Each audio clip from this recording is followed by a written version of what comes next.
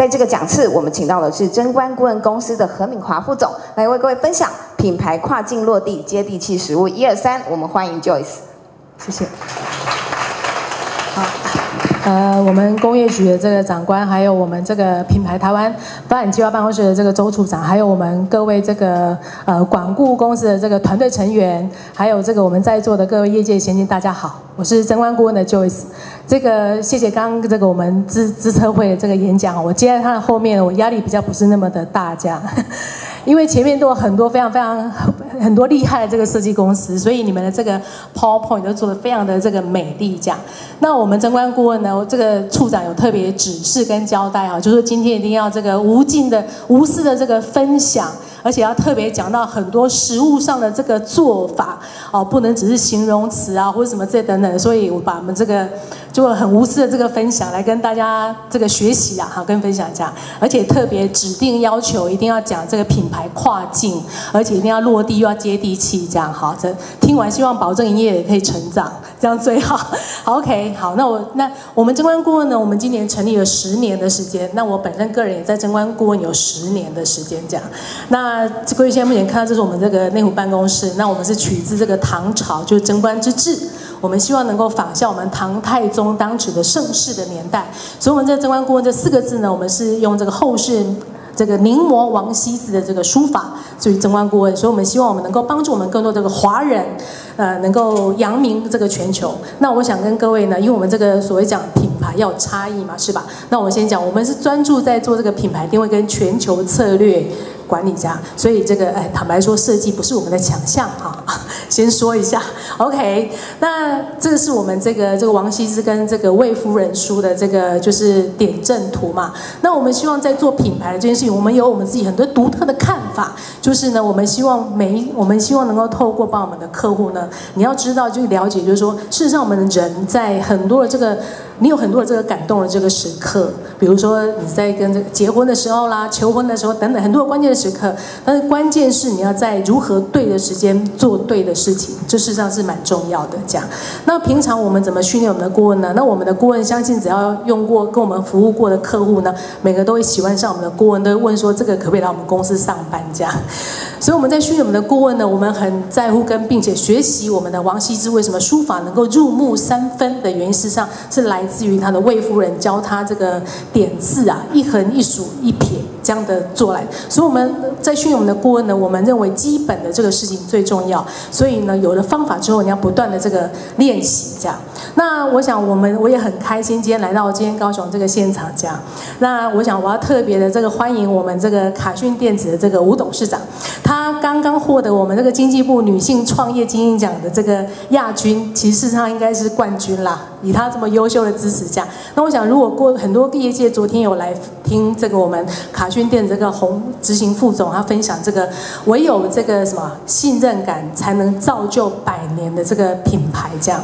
那以卡讯电子，我们刚才跟他们从大陆才落地接地气回来这样，那这个也获得他们当地的这个代理商今年的业绩相较于去年翻倍之外呢，也承诺明年业绩要再翻倍这样。所以在在座的各位嘉宾，等一下会后不要忘了。去这个跟我们吴董事长认识一下，他们的毛利非常的好，股票代号你可以等一下自己问他，是一家值得非常投资的一个公司。这样好，那我想也很开心跟大家分享，就是说，既然我们真观顾问我们很真实，我们很实在，也很落地，很接地气，所以呢，我们今年十年磨一剑呢，我们现在目前呢，呃，我们今年度在上海已经成立了所谓的分公司，我们希望能够透过我们自己本身实际落地这样的一个做法，帮助我们台湾的品牌能够走出去，富起。来强起来，这样好，好。那我想很快的呢，来跟大家分享，就是说，我想我们过去这个十年，我们透过我们辅导的这个过去的经验跟经历呢，我们有整理跟找到一些，就是经营品牌常见的这个死因，这样好。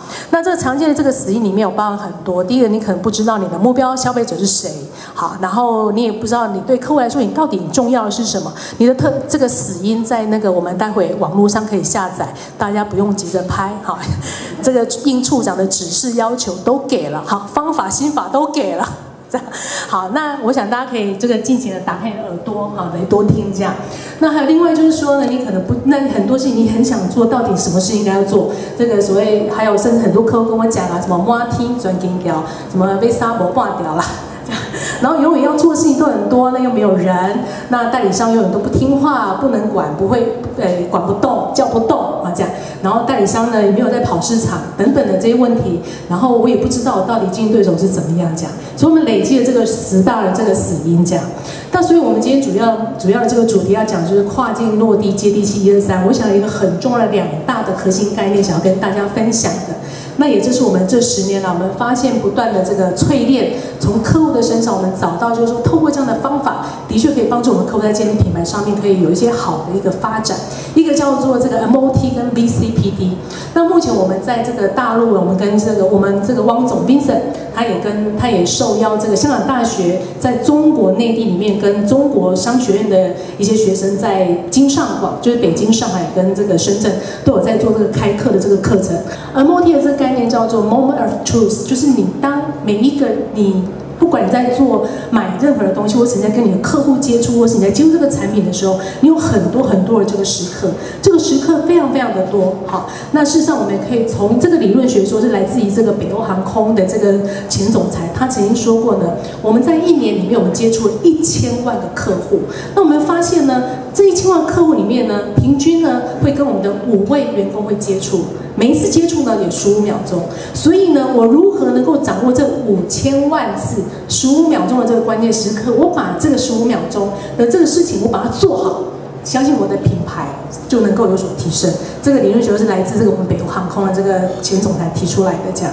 所以，我们争冠顾问呢，我们就去，我们就去用我们的这个方法，因为我们很在乎这个方法学这件事情，这样。所以，我们就去看，我们去探讨，就是说，事实上呢，整个 MOT 是来自于我们消费者的整个这个经验的这个流程，包含你从他在察觉跟思考，他在想要买这个东西的时候，他是怎么样想到你这个品牌。怎么察觉到你？那他是怎么想的？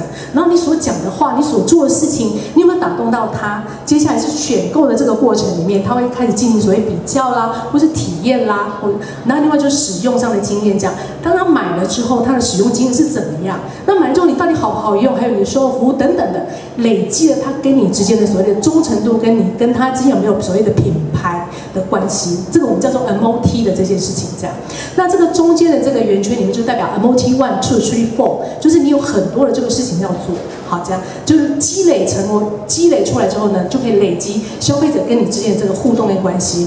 所以 MOT 可以做什么事情呢？MOT 第一个，你可以把你所期待想要植入给消费者的这个讯息，或是你的故事，你可以透过这 MOT 的这个操作呢，让消费者能够记得你，同时你可以影响他的一些决策的行为，好这样。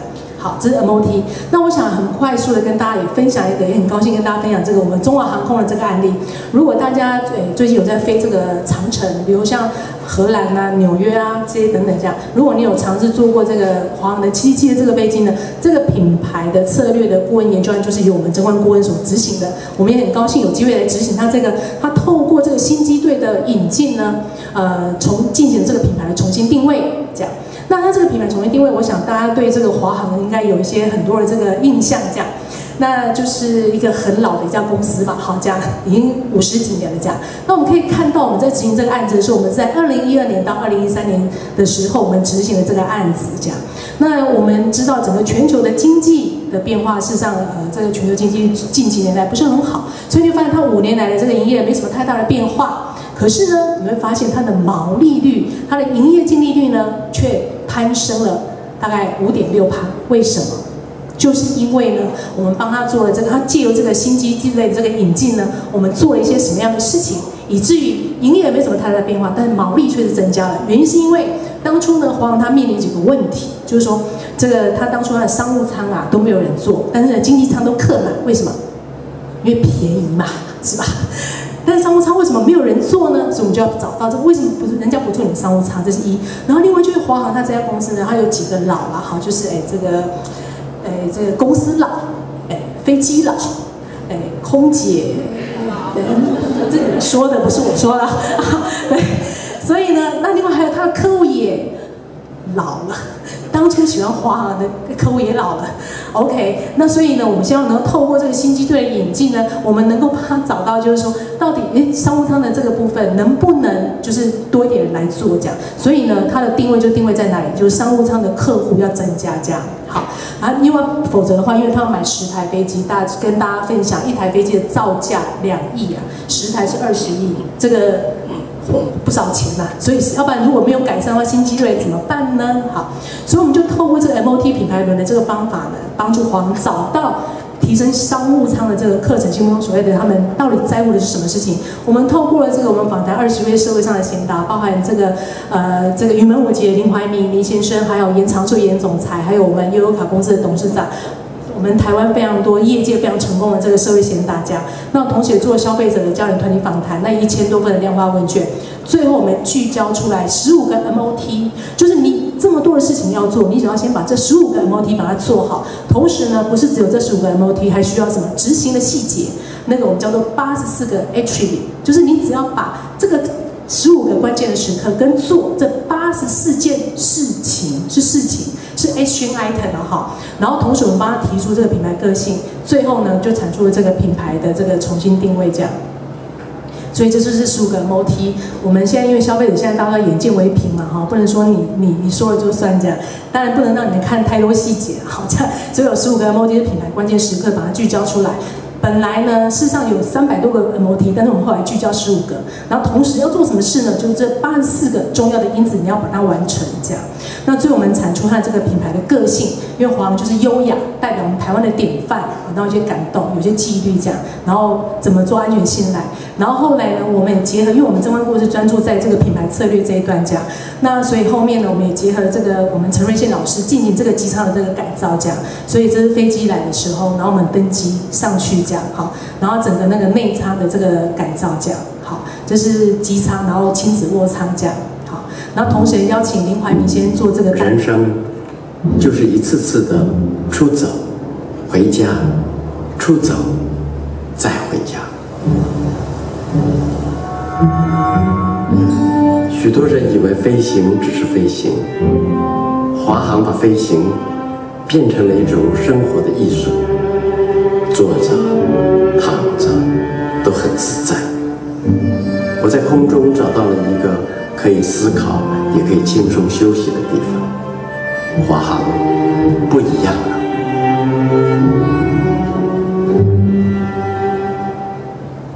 好的，那我想另外一个真实案例，就是说呢，透过 MOT 的这个时刻，就真的可以找到市场的机会吗？好，我们有个客户他在做羊奶粉的，那后我们去做一个牛奶粉的这个的这个市场的调查研究。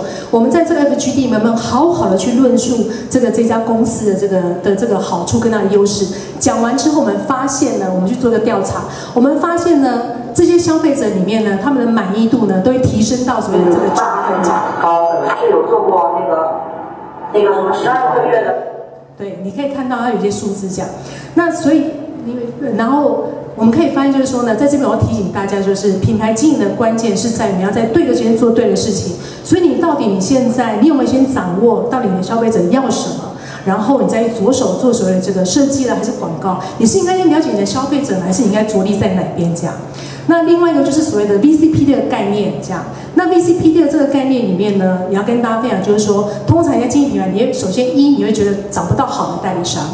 然后呢，从这个哎代工做的好好的，需要做品牌吗？你可能会这样想啊，这样资源有限，不知道该怎么，就是要怎么去，然后不知道该打哪一个 TA，然后产品太多，定位不清，产品没有差异化，然后来把老板的这个经验没办法复制，公司的气氛差啊，没钱打广告等等的，然后失去竞争优势，找不到合适的人，啪，这么多问题。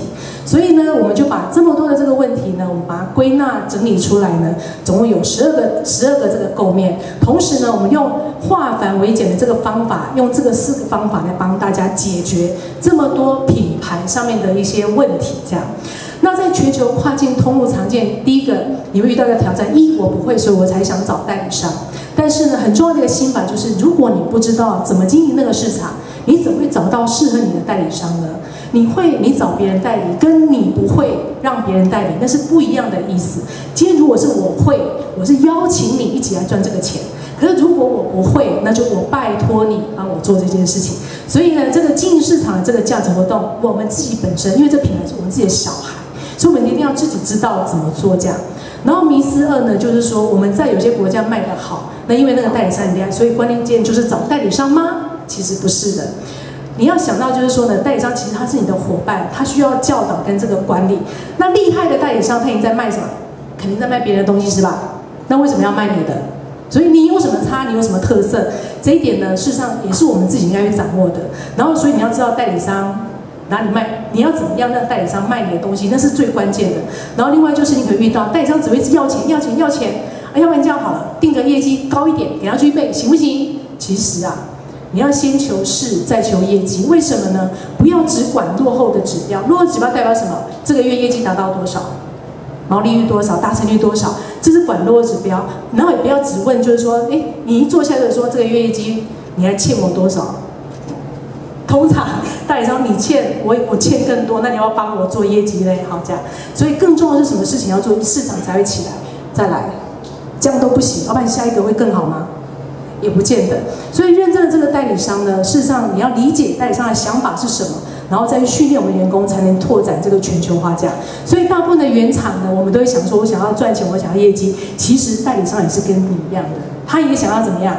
他的心态也都是想要赚钱嘛，这样。所以呢，代理商要管理，实际上要有一套做法。那我想，我们卡讯之所以能够这么成功，我必须在借这个机会呢，我想非常的佩服我们这个吴董事长跟我们这个洪子荣副总，他们就的确非常的落实跟执行我们给他的这个策略，这样。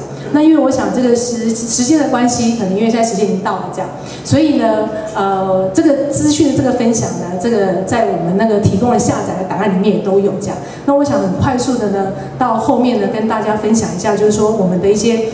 呃，关键的一些看法这样，所以如果代理商业绩不好怎么办？跟你遇见代理商，你要不要签？怎么签呢？这里有很多的这个一些做法，比如说你要避免互推责任，然后大家一起来分工，不要期待你只会你，如果你只会生产，你剩下的东西的事情都想要交给代理商做，我想天下没有那么好的事情这样。好，那代理商要记得，他不会代替你受伤。如果他代替你受伤，我们原厂呢也是一场一场空降。所以这些方法在我们的那个档案里面都有，所以不要只问数字，你要问如何经营市场。那所谓经营市场，就所谓的这个领先的指标，这样。然后真正要怎么管代理商，谈三件事：一，怎么经营市场；二，怎么分工，你做什么，我做什么；三，我们再讨论如何达到这个数字，这样。好，那一个很重要的秘密武器跟重要的观念，一就是我们的业务本身，事实上也非常的这个重要，好这样。重要的观念就是分利，我们不要只是想要将本求利，我们一定要让他看到分利的这个概念，他也希望能够成长，所以我们到底能够带给他什么样的价值，这也是我们应该思考的。那你在面对新的代理商，很重要就是你的公司简介，这样。那代理商在听你的公司简介的时候，他会有五大的关键问题：你是谁？你到底为什么要跟你合作？我本来就已经合作好好的，我为什么？我为什么要换？等等的。那我跟你合作我有什么好处？我的利益是什么？然后你们今年有什么新产品吗？你现在，那你跟你的竞争对手有什么差？等等的这些问题，他都会问你。这时候你可以想一想，你的公司简介有回答这几个问题吗？好，这样好，OK。然后代理商在乎什么？好，这是我们去访谈很多的这个这个经销商、代理商里面，他这是新加坡国家体育馆的这个的负责这个案子的老板，他说一般担心没用过的产品，所以要让集成商尽可能的测试，他怎么会相信这样？好，然后这是我们去，这我去广州那边，他说他希望能够跟他跟他合作伙伴是可以一起往前走的这样，所以呢，落地接地气一二三，第一个要件你要掌握这个 MOT 的关键时刻，第二个部分。你要有一个好的这个公司的简介论述，跟加上好的业务。三，只管三件事：一，我们怎么一起经营这个市场；二，怎么分工合作；三，还如何达到数字，而不是一坐下来就问他业绩怎么办这样。所以，我们透过这在做这个品牌跨境落地接地气里面有很两个很重要的这个原则跟方法。一就是 MOT 的管理法则。那再来呢，才是落价值的传递，落实你的这个品牌定位，这样。那这是我们在帮助我们的客户进行品牌建构的一个四个很重要的模组。所以最重要的记得，代理商不是代替你受伤，代理商是要替你去经商。好，以上结论跟大家分享。然后有更多这个很多我们在分享这个全球通路管理啊，还有这个所谓企业经营的一些等等的，你可以大家可以扫这个八口，这个是我们这个 Vincent，他在这个正光之他有发表非常非常多的这个所谓全球通路管理或者他个人的一些十年来积累了很多的这个心法跟这个方法。他很多的这个文章都在这个里面，大家可以到这个他的 Facebook 里面去浏览阅读。这样好，以上很快速跟大家分享，谢谢。